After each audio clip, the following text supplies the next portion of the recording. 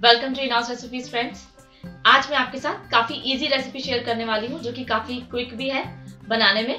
तो अक्सर हम मूवी देखने जाते हैं तो वहाँ पर पॉपकॉर्न खाना बहुत पसंद करते हैं। और जब घर में हम मूवी देखते हैं तो वही शायद हम मिस करते हैं। तो वही आज हम सीखेंगे कैसे बनाते हैं पॉपकॉर्न तो आइए देखते हैं घर में क्विक पॉपकॉर्न कैसे बनाए जाते हैं। ये पॉपकॉर्न का यमी स्नैक मैं बनाने जा रही हूँ दो लोगों के लिए। तो उसके लिए मैंने हाफ़ कप ये मक्का ली है, जो कि कच्चे हैं बिल्कुल। और साथ ही टू टीस्पून देसी घी। और आप चाहें तो इसकी जगह ऑयल भी ले सकते हैं। सॉल्ट जो है, वो आप अपने स्वादानुसार इनके बनने के बाद इन पर डाल सकते हैं।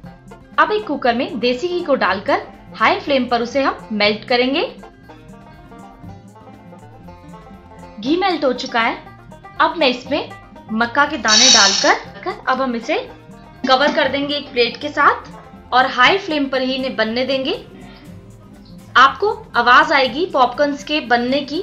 जब वो सारी आवाज़ें आनी बंद हो जाए तो आपके पॉपकॉर्न्स बन चुके हैं। गैस को आप बंद कर देंगे।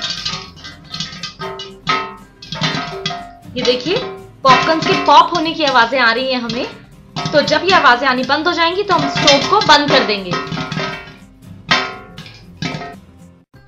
पॉपिंग आनी बंद हो गई है, यानी हमारे पॉपकॉर्न्स तैयार हैं। स्टोव को आप बंद कर दीजिए।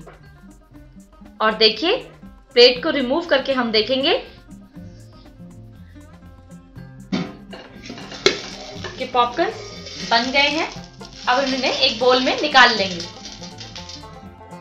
अब ये गर्मा गर्म पॉपकॉर्न सर्व करने से पहले आप इन पर सॉल्ट डालें और इन्हें अच्छे से मिक्स कर लें। लीजिए, आप इस स्नैक का आनंद लीजिए, सब फ्रेंड्स के साथ खाकर। आई होप फ्रेंड्स आप जब भी घर में मूवी देखेंगे फ्रेंड्स और फैमिली के साथ तो इन्हें बनाएँगे और इनका आनंद लेंगे। Thanks for being with in recipes